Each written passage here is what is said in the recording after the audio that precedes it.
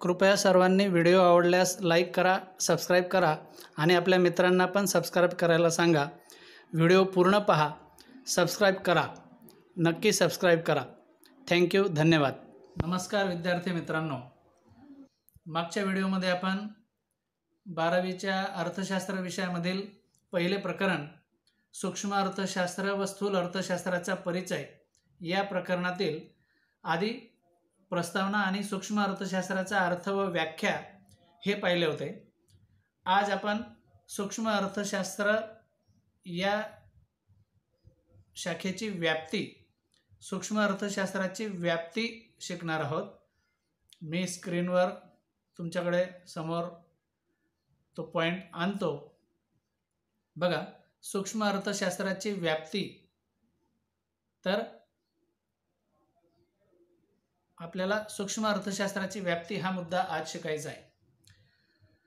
सूक्ष्म अर्थशास्त्राची व्याप्ती म्हणजे नेमकं काय? तर मित्रांनो सूक्ष्म अर्थशास्त्र या शाखेमध्ये आपण काय काय शिकणार आहोत? म्हणजे या शाखेमध्ये कोणकोणत्या क्षेत्राचा कोणकोणत्या घटकांचा सिद्धांतांचा संकल्पनांचा अभ्यास केला जातो ते या व्याप्तीमध्ये येणार आहे. तर सूक्ष्म अर्थशास्त्र या शाखेमध्ये ज्या सिद्धांतांचा ज्या संकल्पनांचा अभ्यास आपल्याला करायचा आहे त्याचा सूक्ष्म अर्थशास्त्राची व्याप्तीमध्ये समावेश होतो. मग सूक्ष्म अर्थशास्त्राची व्याप्ती कशी आहे किती आहे काय आहे ते पाहूया. तुमच्यासमोर ट्री डायग्राम सूक्ष्म अर्थशास्त्राची व्याप्ती याचा दिसतोय. सुरुवातीला वस्तूंच्या किंमत निश्चितीचे सिद्धांत त्यानंतर दुसरा पॉईंट दिसतोय उत्पादन घटकांच्या किंमत निश्चितीचे सिद्धांत. आणि त्यानंतर तिसरा पॉईंट दिसतोय ट्री डायग्राममध्ये आर्थिक कल्याणाचे सिद्धांत. बघा एक दोन आणि तीन. पहिला मुद्दा आहे वस्तूंच्या किंमत निश्चितीचे सिद्धांत. तर ते आपण पाहूया.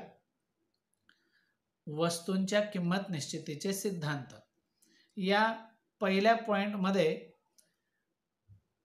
सूक्ष्म अर्थशास्त्र वस्तू व सेवांच्या किंमत निश्चितीचे सिद्धांत अभ्यासते. कशा पद्धतीने? तर आपण सूक्ष्म अर्थशास्त्राचा अर्थ या पॉईंटमध्येच आधी पाहिलं की सूक्ष्म अर्थशास्त्र हे लहान लहान आर्थिक संकल्पनांचा आर्थिक घटकांचा अभ्यास करणारं वैयक्तिक आर्थिक घटकांचा अभ्यास करणारं शास्त्र आहे. साहजिकच एखाद्या राष्ट्रामध्ये अर्थव्यवस्थेमध्ये एखाद्या वस्तूची किंमत कशी ठरते? सर्व वस्तूंची किंमत कशी ठरते याचा अभ्यास आता आपण सूक्ष्म अर्थशास्त्रात करणार नाही आहेत तर एखाद्या वस्तूची किंमत कशी निश्चित होते? म्हणजे वैयक्तिक किंमत कशी निश्चित होते? याचा अभ्यास आपण सूक्ष्म अर्थशास्त्रामध्ये करतो. वस्तूंच्या किंमत निश्चितीचे सिद्धांत हा एक फार मोठा विषय. खरं म्हणजे theory of price price theory हा एक फार मोठा विषय आहे. यापैकी आपल्याला त्याचा गाभा समजून घ्यायचा आहे. तर एखाद्या वस्तूची किंमत कशी निश्चित होते? त्या निश्चितीसाठी काय काय घटक आवश्यक असतात? तर त्याचा अभ्यास या सूक्ष्म अर्थशास्त्रामध्ये केला जातो. बघा एखादी वस्तू बाजारपेठेमध्ये जेव्हा येते तेव्हा आधी ती त्या उत्पादन संस्थेमध्ये तयार झालेली असते. मग उत्पादक वस्तू तयार करताना ती वस्तू आपल्याला किती उत्पादन खर्च मध्ये तयार होते? म्हणजे ती वस्तू तयार करण्यासाठी लागणारा खर्च किती आहे? याचा विचार करून उत्पादक त्या वस्तूची किंमत निश्चित करीत असतो ठरवत असतो. परंतु मग उत्पादक वस्तू विक्रीसाठी आणतो त्याला आपण अर्थशास्त्रामध्ये पुरवठा असं म्हणतो सप्लाय पुरवठा पुढे येणार आहे पुरवठा नावाचं एक प्रकरण येणार आहे. आणि मग त्या वस्तूची बाजारामध्ये ग्राहकांना मागणी किती आहे? ग्राहकांची खरेदी करण्याची इच्छा किती आहे?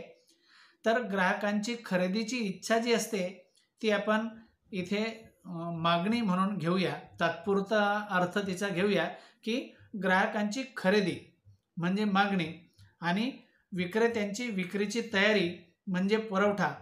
तर साहजिकच मग ग्राहक एखादी वस्तू किती घेण्यासाठी तयार आहे आणि विक्रेता ती वस्तू विक्री करण्यासाठी किती प्रमाणात तयार आहे या दोघं संकल्पना ग्राहकाची खरेदीची तयारी म्हणजे मागणीची बाजू आणि विक्रेत्याची विक्रीची तयारी म्हणजे पुरवठ्याची बाजू या दोघं बाजू कशा पद्धतीने जुळून येतात त्यावरनं अर्थशास्त्रामध्ये वस्तूची किंमत निश्चित होत असते. अर्थव्यवस्थेमध्ये हजारो वस्तू असतात परंतु एकाच वेळी सर्व वस्तूंच्या किंमतीचा सिद्धांत आपण शिकणार नाही आहेत तर एखाद्या वस्तूची किंमत कशी ठरते त्याचा अभ्यास आपण केला तर साहजिकच अर्थव्यवस्थेतील सर्वच वस्तूंची किंमत त्याच पद्धतीने ठरते. मग एखाद्या वस्तूची किंमत कशी ठरते? तर त्या विशिष्ट वस्तूची मागणी आणि त्या विशिष्ट वस्तूचा पुरवठा यांच्या एकत्रीकरणातनं त्या वस्तूची किंमत निश्चित होत असते. साहजिकच वस्तूची खरेदी करणारा ग्राहक म्हणजे उपभोक्ता त्या उपभोक्त्याचं वर्तन अर्थव्यवस्थेमध्ये कसं आहे बाजारपेठेमध्ये कसं आहे याचा अभ्यास. त्याचप्रमाणे वस्तूची विक्री करणारा उत्पादक म्हणजेच विक्रेता हा बाजारपेठेमध्ये कसा वागतो त्याचं वर्तन कसं आहे याचा अभ्यास म्हणजे उत्पादकाची बाजू.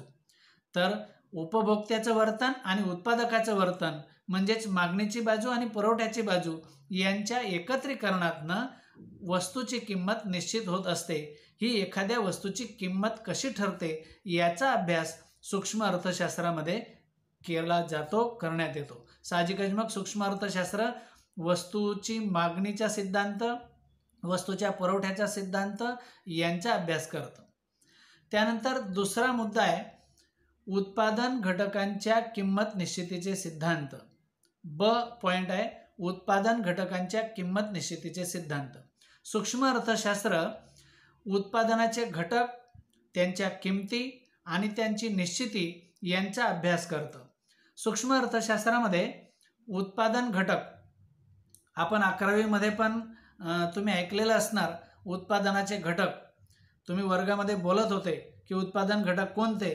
तर तुम्ही विद्यार्थी वर्गात फाडफाड बोलतात की भूमी श्रम भांडवल संयोजक लँड लेबर कॅपिटल आणि एंटरप्रिन्युअर हे चार उत्पादनाचे घटक आहेत विद्यार्थी मित्रांनो.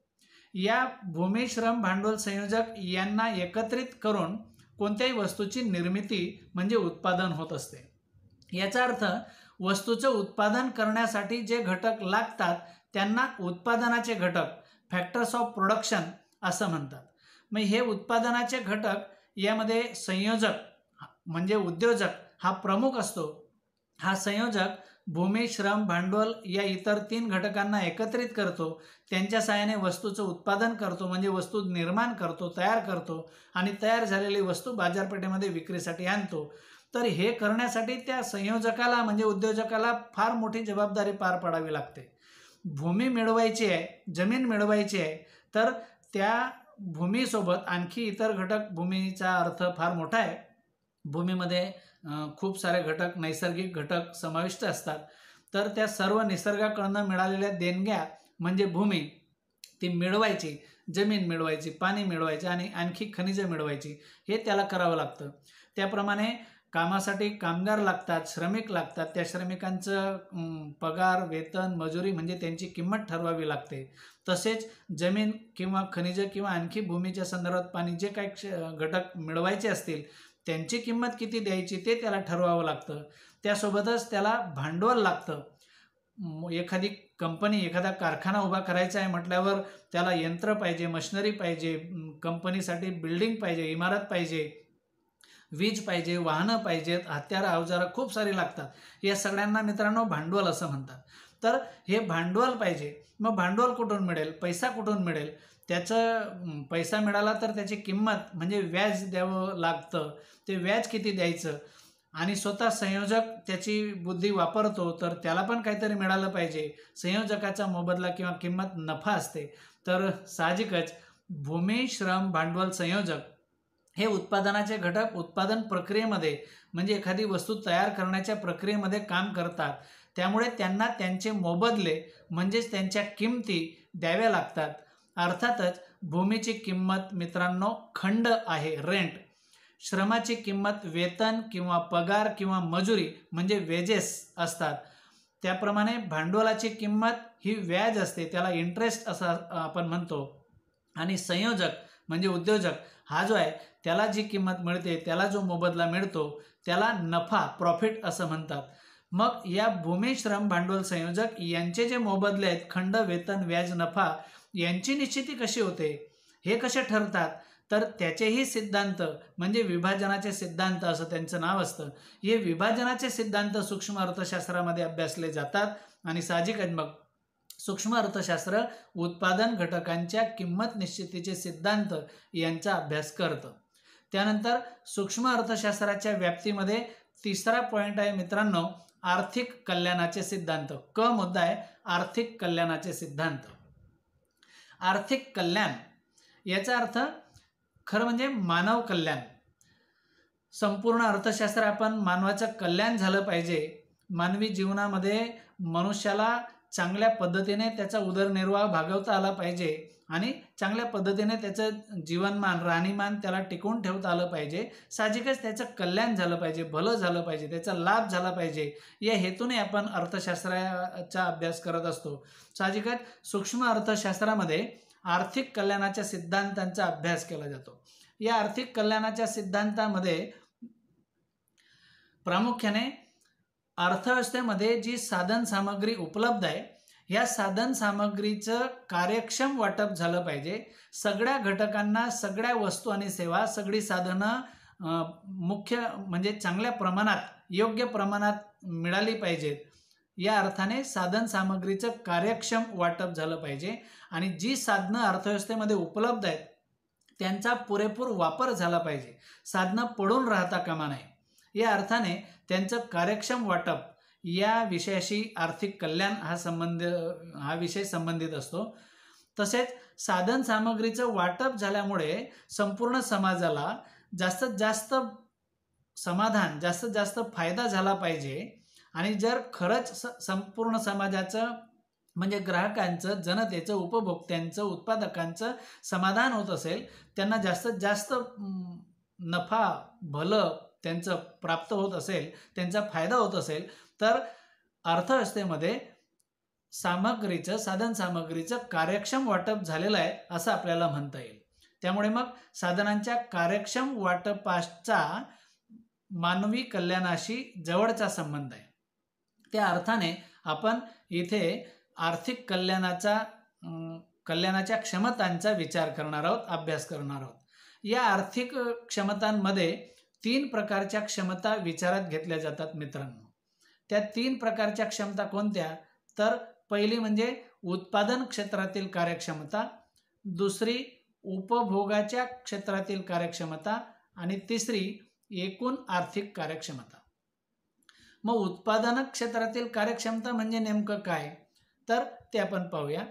उत्पादन क्षेत्रातील कार्यक्षमता याचा अर्थ अर्थव्यवस्थेमध्ये जी साधन सामग्री उपलब्ध आहे. भूमी श्रम भांडवल संयोजक आणि आणखी उत्पादनाच्यासाठी लागणारी सर्व साधने या सर्व साधनांच्या मदतीने जे उत्पादन तयार होत आहे ते जास्तीत जास्त चांगलं योग्य कार्यक्षम आणि क्वालिटीचं उत्पादन केलं जात आहे का? याच्याकडे लक्ष दिलं जातं आणि त्याचा अभ्यास सूक्ष्म अर्थशास्त्रामध्ये केला जातो की संपूर्ण अर्थव्यवस्थेमध्ये उपलब्ध साधन सामग्रीचा योग्य आणि कार्यक्षम असा वापर होतोय का? काटकसरीने त्याचा वापर केला जातोय का? त्या कार्यक्षमतेचा विचार म्हणजे उत्पादन क्षेत्रातील कार्यक्षमतेचा अभ्यास या सूक्ष्म अर्थशास्त्रामध्ये केला जातो. त्याचप्रमाणे उपभोगाच्या क्षेत्रातील कार्यक्षमतेचा देखील विचार सूक्ष्म अर्थशास्त्र करतं. म्हणजे काय?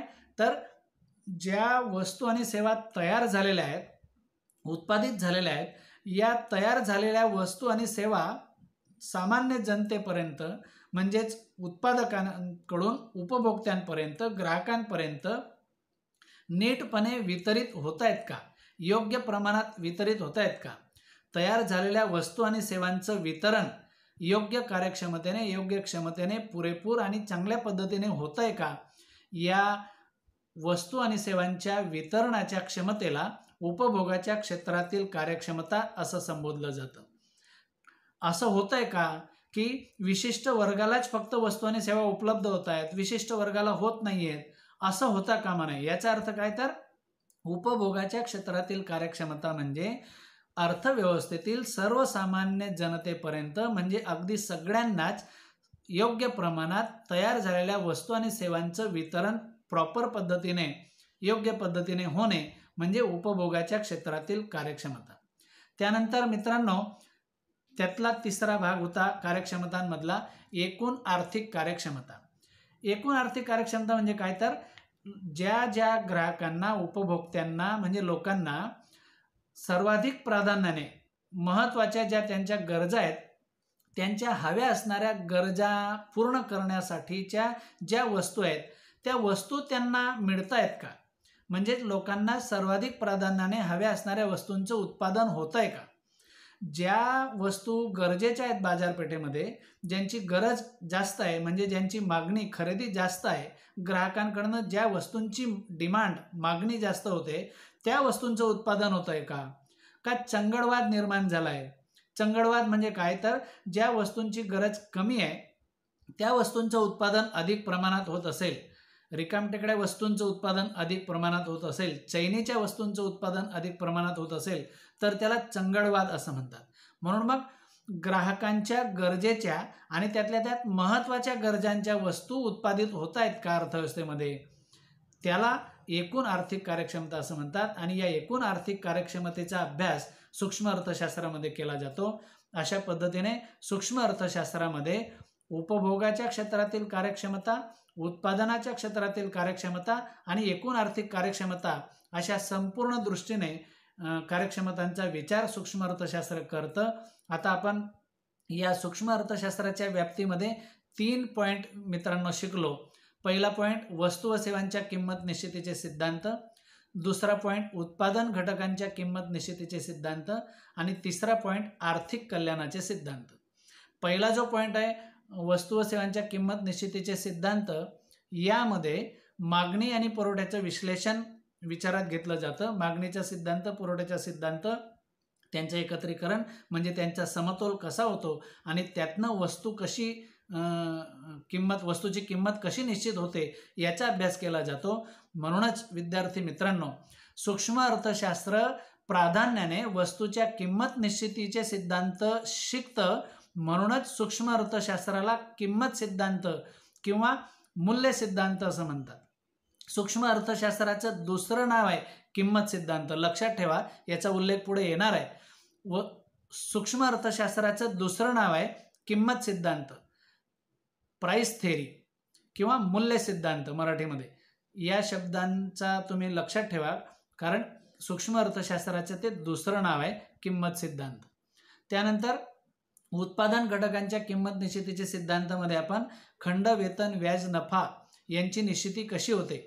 भूमी श्रम भांडवल संयोजक यांचे मोबदले म्हणजे खंड वेतन व्याज नफा यांची निश्चिती कशी होते? त्यांचे सिद्धांत शिकले जातात. त्याचप्रमाणे आर्थिक कल्याणाच्या सिद्धांतामध्ये उत्पादन क्षेत्रातील कार्यक्षमता उपभोग क्षेत्रातील कार्यक्षमता आणि एकूण आर्थिक कार्यक्षमता अशा पद्धतीने सूक्ष्म अर्थशास्त्राची व्याप्ती हा मुद्दा आपण शिकलो. आता तुमच्या लक्षात इथे येईल की सूक्ष्म अर्थशास्त्रामध्ये फक्त एवढंच शिकलं जातं का? तर खरं म्हणजे वैयक्तिक घटकांचा स्पेशलाइज विशिष्ट घटकांचा अभ्यास सूक्ष्म अर्थशास्त्र करत असल्यामुळे अजून खूप साऱ्या संकल्पना अर्थशास्त्रामध्ये आहेत की ज्या राष्ट्रीय पातळीवरच्या असतील ज्या संपूर्ण देशाच्या अर्थव्यवस्थेच्या पातळीवरच्या असतील जसे की बेरोजगारी दारिद्र्य राष्ट्रीय उत्पन्न उत्पन्नामध्ये असणारी विषमता अशा अनेक समस्या अनेक सिद्धांत आणखी तेजी मंदीचे व्यापार चक्राचे सिद्धांत आहेत पैशाचे सिद्धांत आहेत राज्य वित्तीय धोरण म्हणजे अंदाजपत्रक बँकिंग असे आणखी सारे विषय आहेत संकल्पना आहेत.